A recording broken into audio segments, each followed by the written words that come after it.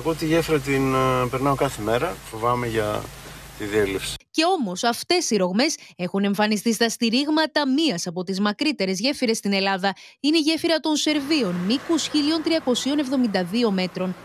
Ψαρεύομαι και κάτω από τη γέφυρα και βλέπουμε ότι κάτω από τη γέφυρα πέφτανε μπετά, κομμάτια μπετά.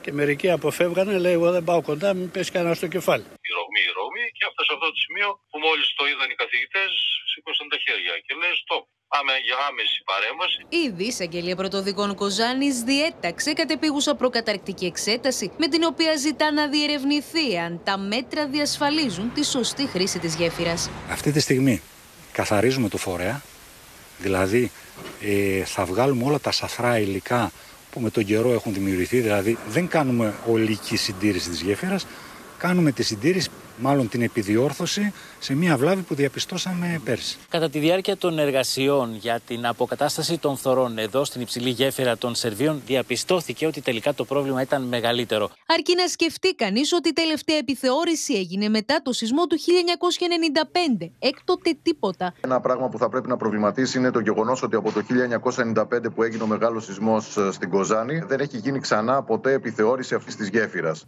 Ο λόγος, οι αρμοδιότητες που γίνονται μπαλάκι ανάμεσα στις υπηρεσίες. Όταν μιλάμε για τέτοια έργα που έχουν έτσι μια εθνική εμβέλεια, θα το έλεγα εγώ, έχει να κάνει με το ποιος έχει την αρμοδιότητα. Και κάπου εκεί χάνεται λίγο το. χάνεται η ουσία του πράγματος και καταλήγουμε στο να μην γίνονται οι αυτοψίες.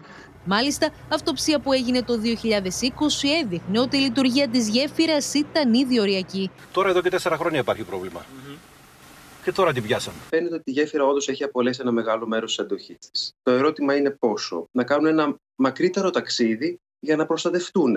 Έτσι, για να μειώσουμε όσο μπορούμε παραπάνω τον κίνδυνο ε, ε, καταρρεύσεων.